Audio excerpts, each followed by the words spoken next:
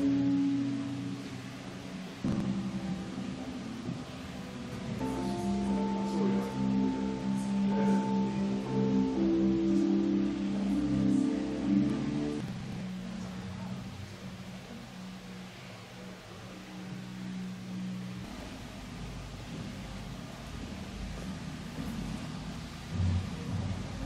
Wir zeigen im Kunstmuseum zum ersten Mal eine Retrospektive des belgischen Künstlers Hans Optebik als Gesamtkunstwerk. Das bedeutet, dass wir eine Retrospektive aus Installationen, Videoarbeiten zeigen, die wir an unterschiedlichen Orten schon kennenlernen konnten. Aber in der Kombination ist es neu und wir haben ihm im Grunde eine ganze Stadt aufgebaut.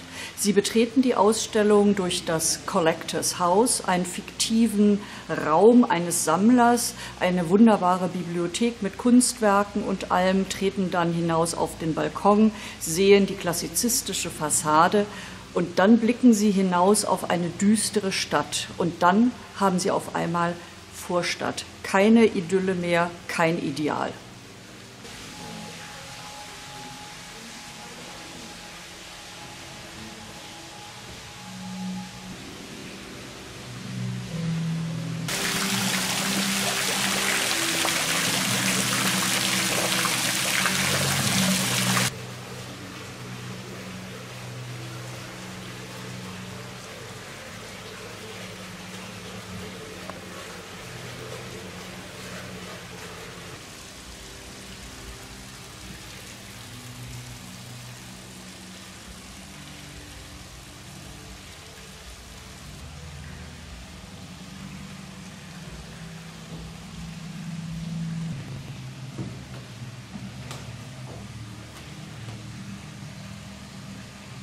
Hans Optebek zeigt uns die Welt als Grisaille, weil er uns konzentrieren möchte. Er möchte sich konzentrieren und uns und das macht er, indem er sozusagen die Farbkanäle herausdreht.